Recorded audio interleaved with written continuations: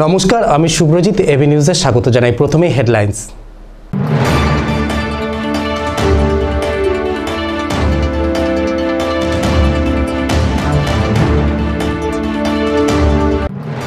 এবার মাস্ক না পরে রাস্তায় বেরোলে ধরবে পুলিশ। রবিবার ছুটির দিনে পুলিশের হাতে ধরা পড়ল বেশ কিছু নাগরিক। দিনের আলোতে গৃহস্থের ঘরে ঢুকে দুঃসাহসিক চুরি। পাণ্ডাপাড়া বউবাজারের ঘটনায় তদন্ত শুরু পুলিশের। জলপাইগুড়িতে এটিএম লুটের ঘটনায় ব্যবহৃত গাড়ি আটক করল পুলিশ।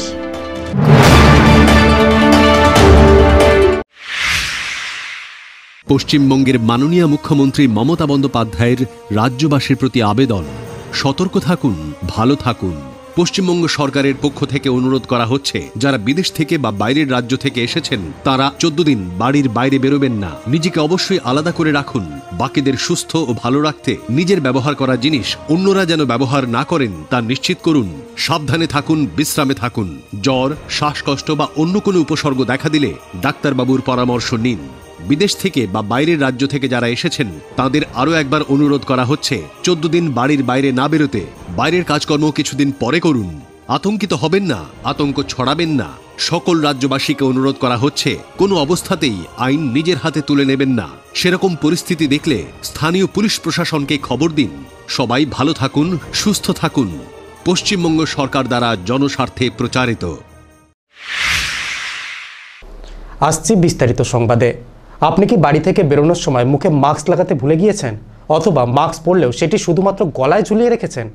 এমনটা যদি হয় তবে সাবধান। এবার মুখে মাস্ক না থাকলে আপনার গন্তব্য হবে থানা। করোনা সংক্রমণ এড়াতে সকলকে মাস্ক পরা বাধ্যতামূলক করা হয়েছে। এরপরেও জলপাইগুড়ি শহরে একাংশ বাসিন্দা মাস্ক ছাড়াই ঘুরে বেড়াচ্ছিলেন বলে অভিযোগ। এতদিন পুলিশের পক্ষ থেকে কোনো ধরপাকড় কিংবা ভূমিকা ছিল না মাস্ক ছাড়া বাসিন্দাদের ধরপাকড়ের ক্ষেত্রে। রবিবার জলপাইগুড়ি কোতোয়ালি থানার পুলিশ অভিযানে নামে এদিন শহরের কদমতলা ডিবিসি রোড থানা মোড় দিনবাজার চার নম্বর গুমটি, তিন নম্বর গুমটি সহ বিভিন্ন জায়গায় অভিযান চালায় পুলিশ। থানার অপরাধ দমন শাখার ওসি শঙ্কর দাস সাদা পোশাকের পুলিশ কর্মীদের নিয়ে অভিযানে নামেন। এদিন দুপুর পর্যন্ত মাস্ক না পরা অবস্থায় কুড়ি জনকে আটক করে থানায় নিয়ে যাওয়া হয়। আটক হওয়া ব্যক্তিদের মধ্যে অনেকেই মাস্ক পরতে ভুলে গিয়েছিলেন কেউ বা মাস্ক থাকা সত্ত্বেও পরেননি কেবল সাইকেলটা নিয়ে বাইরে এলাম বাইরে থেকে বেরোয় সাইকেলটা জাম জাম ছিল এক থেকে টাকা ছিল ওইটা বাড়িতে এবার কি মাস্ক পরবেন তো? কেন মাস্ক পরেননি কেন? মাস্ক তো পরা বাধ্যতামূলক জানেনি করোনা এখন চলতেছে।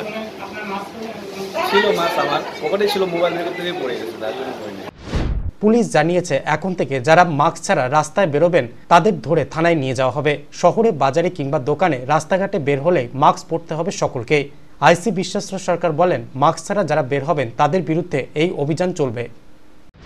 আমরা মাস্ক যারা পড়ছে না তাদেরকে সতর্ক করে দিচ্ছি। অনেকে অর্থের অভাবে মাস্ক কিনতে পারছেন না। তাদের জন্য এবার মাস্কের ব্যবস্থা করছে জলপাইগুড়ি কোতোয়ালি থানার পুলিশ।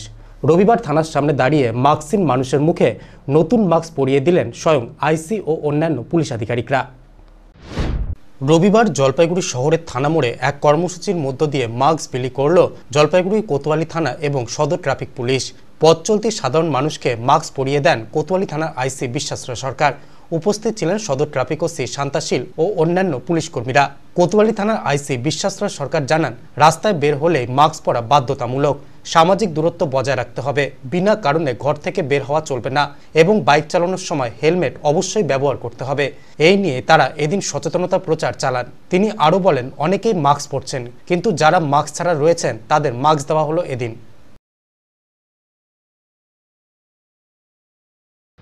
আমরা এটা ট্রাফিক এবং কোতোয়ালি থানা থেকে আজকে যারা মাস্ক পরছে না তাদেরকে সচেতন করছি এবং আমরা মাস্ক বিলিও করছি।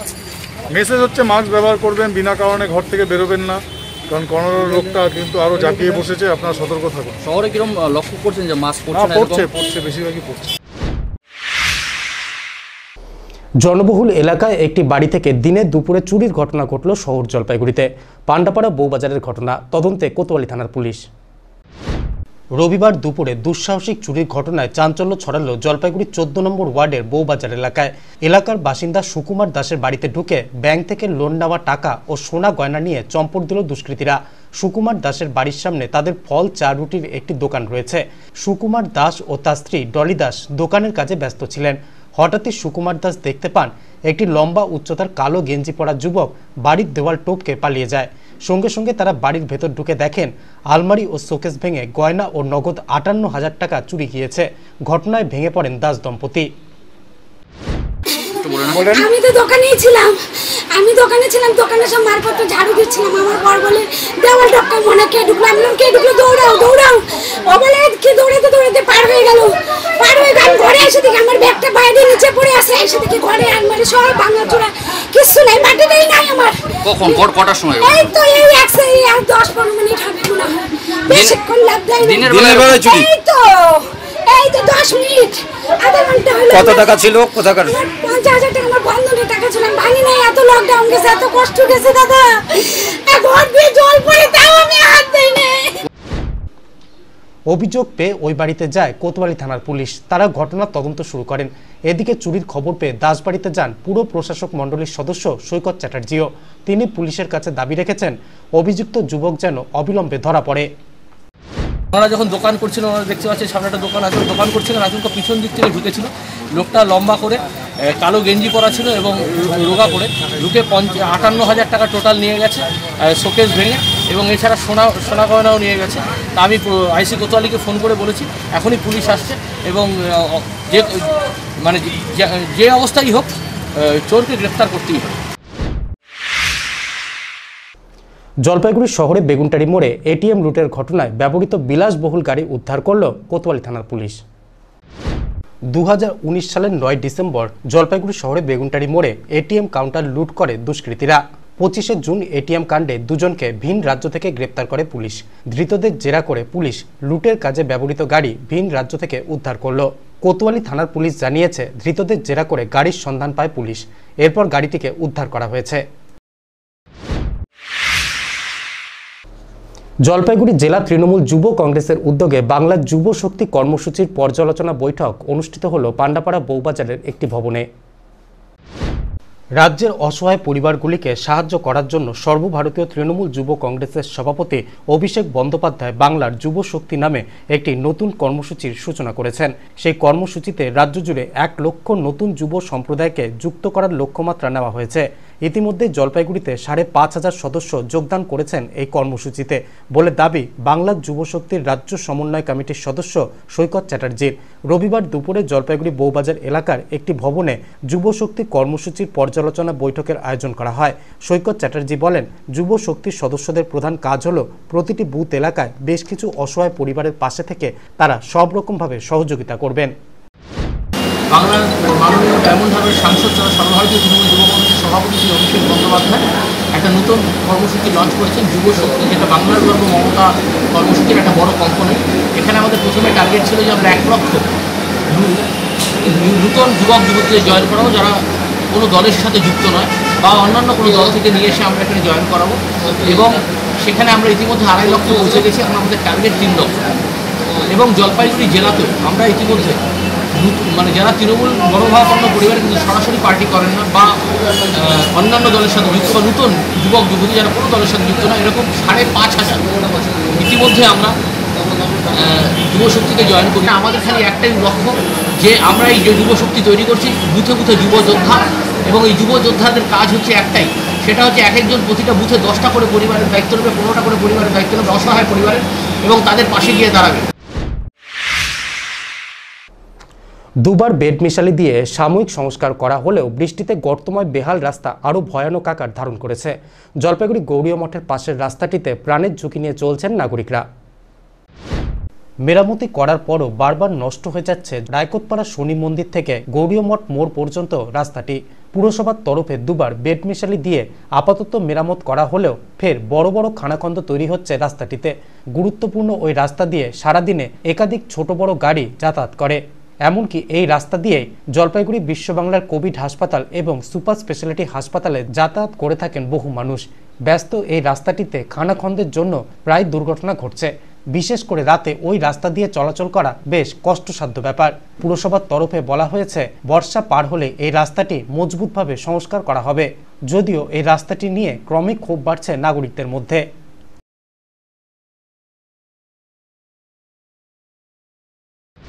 রাস্তার অবস্থা কি দেখছেন? রাস্তার অবস্থা খুবই খারাপ।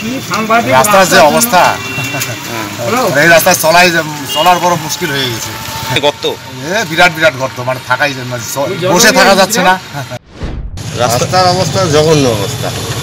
চলাই যায় না এই রাস্তা। নাকি দারুণ ভাঙা। চলাচলে অসুবিধা হচ্ছে? দারুণ অসুবিধা। না? দুর্ঘটনাটা ভয় থাকবেই। হ্যাঁ এটা তো ভালো করা দরকার এটা সব সময় চলাচলের সুবিধা হয় ভালো করলে। পুরসভা ও দমকলের পাশাপাশি করোনা সংক্রমণ মোকাবিলায় জলপাইগুড়ি শহরে স্যানিটাইজেশনে কাজ করছেন বামপন্থী ছাত্র যুবরাও।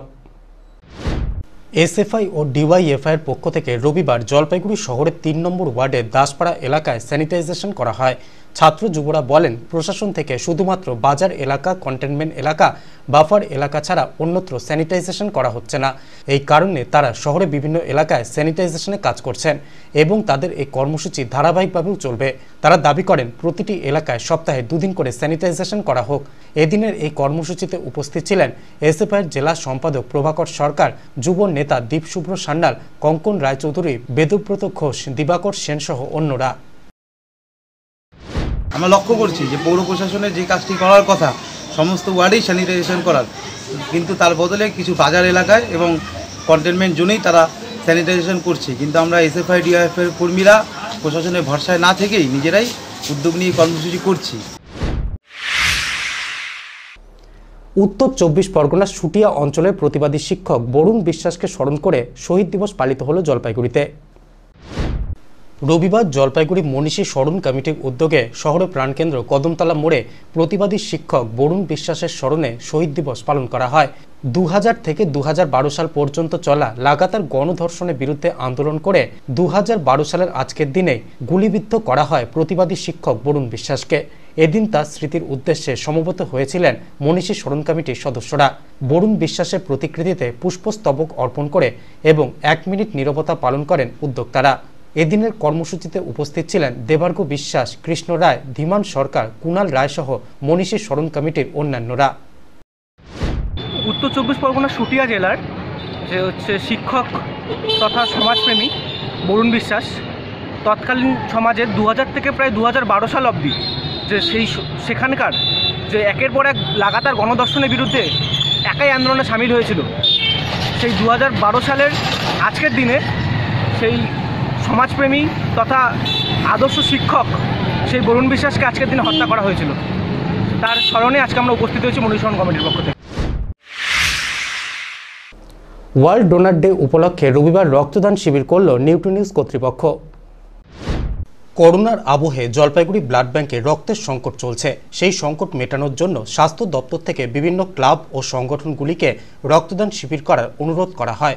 সেই অনুরোধে সাড়া দিয়ে এবং ওয়ার্ল্ড ডোনার ডে উপলক্ষে রবিবার জলপাইগুড়ি পুরসভার প্রয়াস হলে রক্তদান শিবিরের আয়োজন করল শহরের জনপ্রিয় news portal new to news. প্রতিদিনের সংবাদ পরিবেশনের পাশাপাশি সামাজিক নানান কর্মসূচি পালনে উদ্যোগী ভূমিকা নিয়ে থাকে নিউ টু নিউজ কর্তৃপক্ষ। এদিনের এই রক্তদান শিবির তারই অঙ্গ। এদিন শিবিরে পুরুষ ও মহিলা মিলিয়ে পঞ্চাশ জন স্বেচ্ছায় রক্তদান করেছেন। ব্লাড ব্যাংকের রক্তের যোগান স্বাভাবিক রাখার চেষ্টায় পরবর্তীতে আবারও রক্তদান শিবিরের আয়োজন করা হবে বলে জানালেন নিউ টু নিউজের কর্ণধার রাজীব গুণ। ওয়ার্ল্ড ডোনার্স ডে, সেই উপলক্ষে আজকে ব্লাড ডোনেশন ক্যাম্প। তো আমরা নিউ টু নিউজ থেকে আর আমরা বন্ধুবান্ধব মিলে এই ক্যাম্পটা করেছি। আমাদের অলমোস্ট ফিফটি ব্লাড ইউনিটস জোগাড় হয়েছে। আর ভবিষ্যতে ইচ্ছা আছে কেন ফিফটির বেশি হলে তো প্রবলেম হয়। যে ব্লাড ব্যাঙ্কে যাতে ব্লাডটা সার্কুলেট হয়, ভবিষ্যতে ইচ্ছা আছে আরও ব্লাড ডোনেশন ক্যাম্প করার, যাতে ব্লাডের ফ্লোটা ব্লাড ব্যাঙ্কে ঠিকঠাক এদিনের এই শিবিরটি সম্পূর্ণ স্বাস্থ্যবিধি মেনে আয়োজন করা হয়। এজন্য উদ্যোক্তাদের প্রশংসা করলেন শিবির পরিচালনার দায়িত্বে থাকা জলপাইগুড়ি ব্লাড ব্যাংকের চিকিৎসক ডাক্তার সঞ্চিতা ব্যানার্জি।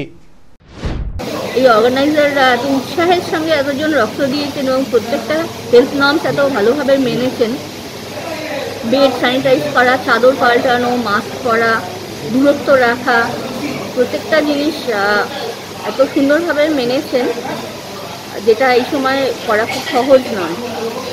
এর জন্য এবং হসপিটালের প্রয়োজনে উৎসাহের সঙ্গে রক্তদানের জন্য আমি ওদেরকে অনেক ধন্যবাদ জানাব এবং অন্যদেরকে উৎসাহ দান করতে বলব। আনলক টুতে রাজ্যের নির্দেশ অনুসারে তিন দফায় জলপাইগুড়ি চার্চে শুরু হলো ভক্তদের সমাগম। গত প্রায় তিন মাস অতিক্রান্ত হওয়ার পর লকডাউন পরিস্থিতির কারণে বন্ধ থাকা সমস্ত রকম ধর্মীয় স্থানগুলো খুলে দেওয়া হয়েছে আনলক ওয়ান থেকে।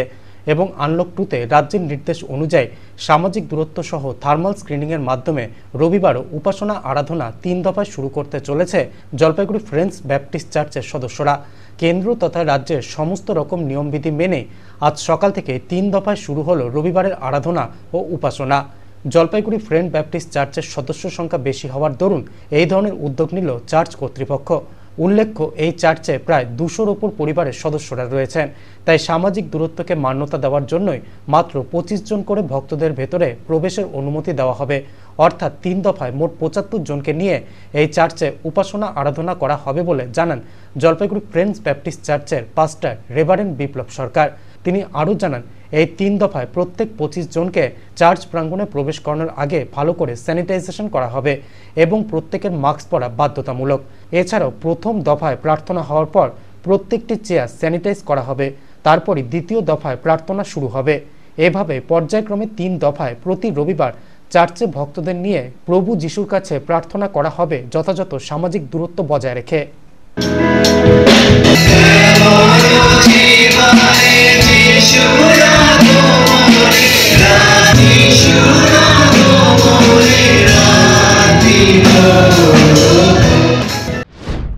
অন্যদের জন্য খুলে দেওয়া হলো। এখানে পঁচিশ জন করে আমরা সমবেত হচ্ছি, যেখানে তাদেরকে ঢোকার আগে থার্মাল টেস্ট করা হচ্ছে, স্ক্যানার দিয়ে তাদের ফিভার, তারপরে তাদেরকে স্যানিটাইজ করানো হচ্ছে। আর যদি মাস্ক না থাকে, তাহলে তারা অ্যালাউ না। আর এখানে তিনটা আমাদের, তিনটা স্তরে আমাদের সার্ভিস হচ্ছে। একটা সাড়ে দশটা থেকে সাড়ে এগারোটা, দ্বিতীয় শুরু হবে পৌনে বারোটা থেকে পৌনে একটা।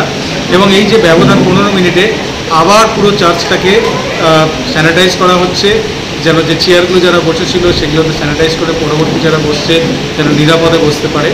এবং অনেক আনন্দ আজকে। প্রচুর লোক যারা এসছে, তারা অত্যন্ত আনন্দিত। এখন সময় বিরতি, ফিরছি বিরতির পর সঙ্গে থাকুন। কোভিড নাইন্টিন হলেই হাসপাতালে ভর্তি হওয়া আবশ্যিক নয়। কোভিড রোগীর যদি কোনো উপসর্গ না থাকে বা মৃদু উপসর্গ থাকে, তবে তাকে বাড়িতে রেখেই চিকিৎসা করা যেতে পারে। কাশি, জ্বর, শ্বাসকষ্ট বেড়ে গেলে হাসপাতালে ভর্তির কথা ভাবুন। সেক্ষেত্রে নিকটস্থ স্বাস্থ্যকেন্দ্র বা হাসপাতালে যোগাযোগ করুন। কোভিড রোগীকে বাড়িতে রেখে চিকিৎসা করলে কিছু নিয়ম মানা অতি আবশ্যক। আক্রান্ত ব্যক্তি সম্পূর্ণভাবে সবার থেকে দূরত্ব রক্ষা করে তার নির্দিষ্ট ঘরের মধ্যে থাকবেন। সঠিকভাবে মাস্ক ব্যবহার করতে হবে এবং নিয়মিত মাস্ক, সাবান জল দিয়ে ধুয়ে রোদ্দুরে শুকিয়ে নেওয়া প্রয়োজন। সাবান জল অথবা স্যানিটাইজার দিয়ে হাত ঘন ঘন পরিষ্কার করুন। রোগীর বাসনপত্র আলাদা রাখুন। বহু ব্যবহৃত পুরনো মাস্ক সাবধানে নষ্ট করতে হবে। রোগের সংক্রমণ রোধ করায় সমাজের সবার ভূমিকা অত্যন্ত গুরুত্বপূর্ণ। প্রয়োজন ছাড়া বাড়ি থেকে বের হবেন না।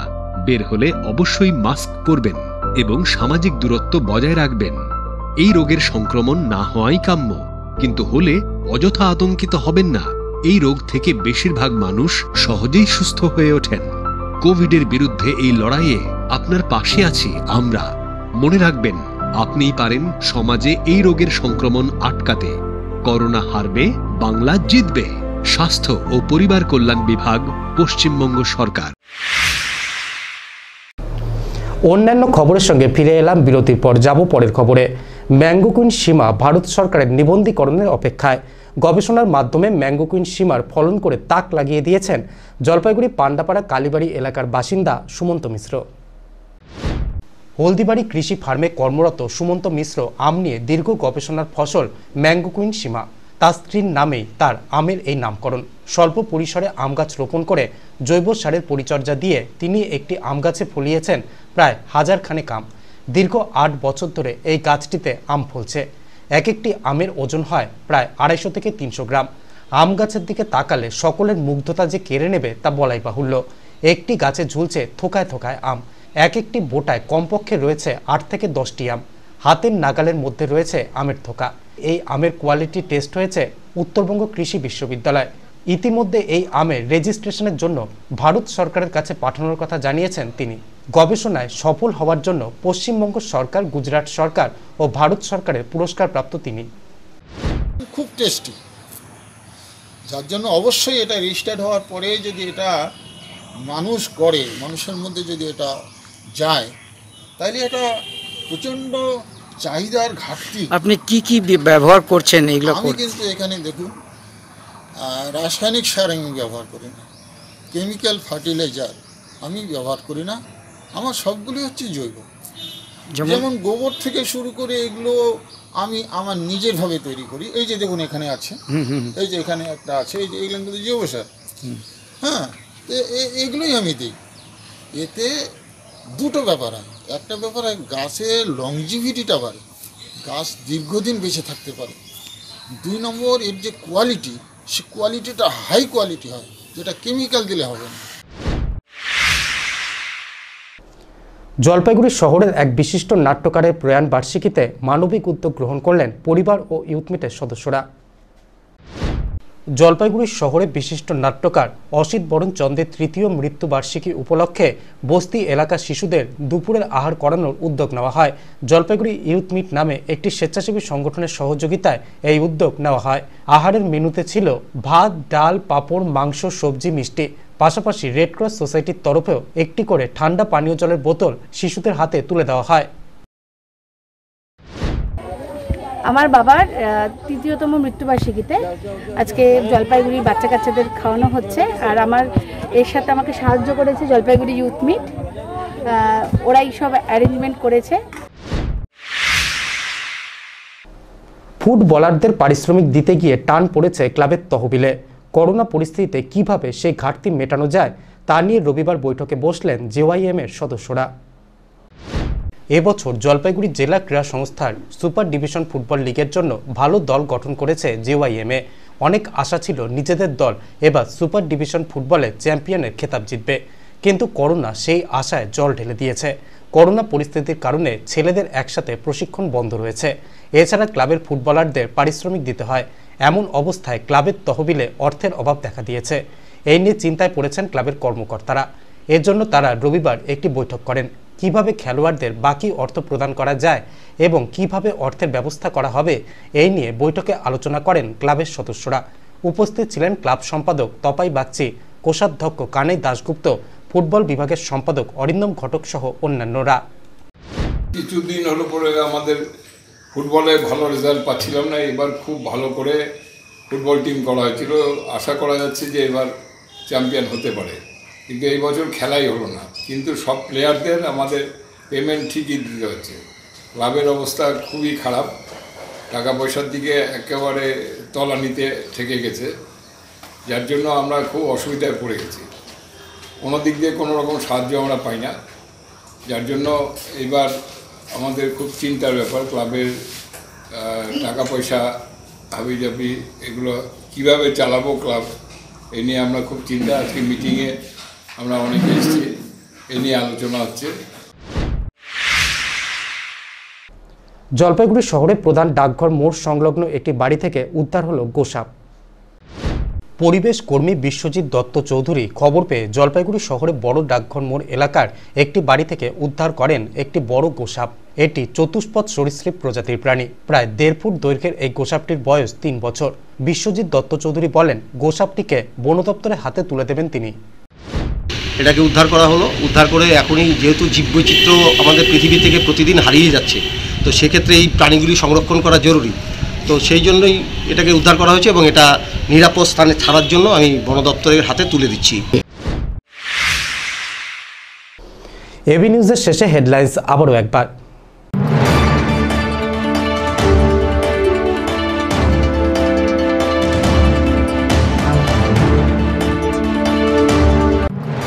এবার মাস্ক না পরে রাস্তায় বেরোলেই ধরবে পুলিশ। রবিবার ছুটির দিনে পুলিশের হাতে ধরা পড়ল বেশ কিছু নাগরিক। দিনের আলোতে গৃহস্থের ঘরে ঢুকে দুঃসাহসিক চুরি। পান্ডাপাড়া বউবাজারের ঘটনায় তদন্ত শুরু পুলিশের।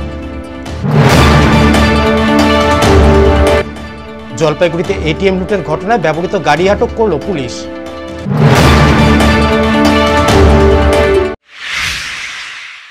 করোনা ভাইরাস নিয়ে অযথা আতঙ্কিত হবেন না বা গুজব ছড়াবেন না। পশ্চিমবঙ্গ সরকার এই ভাইরাস মোকাবেলায় আপনার পাশে আছে। জ্বর, কাশি ও শ্বাসকষ্ট ফ্লুয়ের এই লক্ষণগুলি করোনা ভাইরাস সংক্রমণেরও সাধারণ উপসর্গ। এই উপসর্গগুলি দেখা দিলে কিছু বিষয়ে আপনাকে মেনে চলতে হবে। সাবান এবং জল দিয়ে কিংবা অ্যালকোহল আছে এমন হ্যান্ড রাব দিয়ে বারবার হাত ধোয়া অভ্যেস করুন। হাঁচে কিংবা কাশির সময় কোনোই ভাঁজ করে নাক মুখ ঢেকে রাখুন অথবা রুমাল বা টিস্যু ব্যবহার করুন। ব্যবহৃত টিস্যু ঢাকনা দেওয়া ময়লা ফেলার পাত্রে ফেলুন। ভিড়ের মধ্যে যাবেন না। অসুস্থ বোধ করলে ডাক্তার দেখান এবং আগামী চোদ্দ দিন একান্তে বিশ্রামে থাকুন। নিজের মুখ, চোখ এবং নাক স্পর্শ করবেন না এবং প্রকাশে থুথু ফেলবেন না। পশ্চিমবঙ্গ সরকার দ্বারা জনস্বার্থে প্রচারিত। এখনকার মতো এবি নিউজ এ পর্যন্তই। দেখতে থাকুন এবি আমার বিশ্বাস নমস্কার।